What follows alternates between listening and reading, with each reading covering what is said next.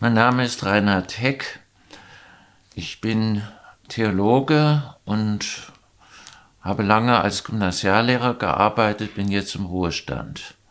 Bin 74 Jahre alt, wohne in Kirchhain, Ortsteil Großseelheim und kandidiere als Stadtverordneter für die Partei Die Linke. Warum trittst du bei dieser Wahl an?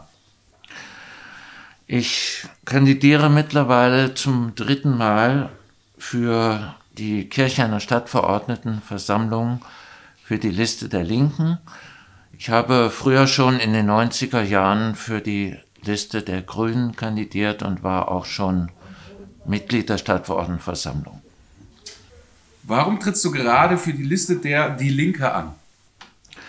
Ich bin Mitglied der Partei Die Linke seit ihrer Gründung und auch Mitglied des Vorstandes im Ortsverein Kirchhain und möchte natürlich versuchen, linke Politik hier in Kirchhain zu realisieren.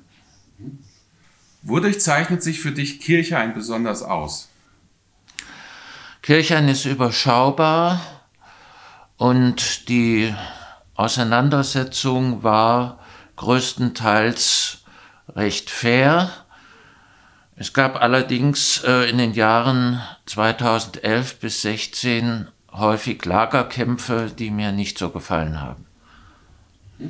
Welche Themen liegen dir für die kommende Legislaturperiode besonders am Herzen?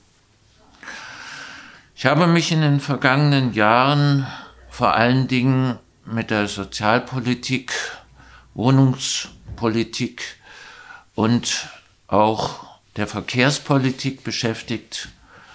Vor allen Dingen geht es darum, den öffentlichen Personennahverkehr zu stärken, eventuell stillgelegte Bahnstrecken wieder zu aktivieren und habe da auch mittlerweile gute Erfahrungen gemacht in der Zusammenarbeit mit den Kirchener Sozialdemokraten.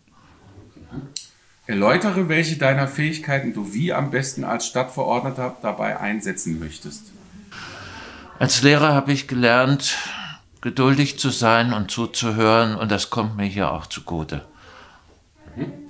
Auf welchen Spruch oder Satz reagierst du allergisch? Ich möchte nicht den Satz zu oft hören, das kann man nicht ändern, sondern ich bin auch so optimistisch, auch in meinem Alter, einiges zu bewegen. Ja 49 oder Wald statt Asphalt? Die Frage lässt sich ganz klar beantworten. Ich habe mich von Anfang an entschieden für eine Verkehrswende auch hier bei uns im Ostkreis ausgesprochen, habe auch als einziger Sprecher in der Stadtverordnetenversammlung klar Position bezogen gegen den Ausbau und Weiterbau der A49, aber auch andere Autobahnprojekte in Hessen, die ich für eine verfehlte Verkehrspolitik halte. Für welche nationale oder internationale politische Persönlichkeit würdest du gerne aktiv Wahlkampf betreiben oder hättest es und warum? Ich würde heute für Sarah Wagenknecht Wahlkampf betreiben, hoffe, dass sie sich wieder aktiviert und in die Willensbildung unserer Partei stärker einbezieht. Was ist dein Wunsch für die Arbeit mit den zukünftigen potenziellen Kolleginnen? Ich möchte nach wie vor vertrauensvoll, wenn es möglich ist, von den Wahlergebnissen her mit der Kirche einer SPD zusammenarbeiten, denn in den vergangenen fünf Jahren ist es besser gelaufen, als ich erwartet hatte. Suche dir eine Kandidatin oder einen Kandidaten einer anderen Liste heraus und beschreibe, welche positiven Eigenschaften du an dieser Person schätzt. Ich diskutiere gern und vertrauensvoll, zum Beispiel mit Helga Sitt von den Grünen oder mit Helmut Hofmann von der SPD. Hm?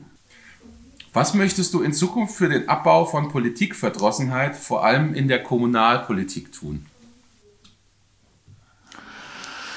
Ja, ich sehe jetzt keine allgemeine Politikverdrossenheit, aber eine Parteienverdrossenheit.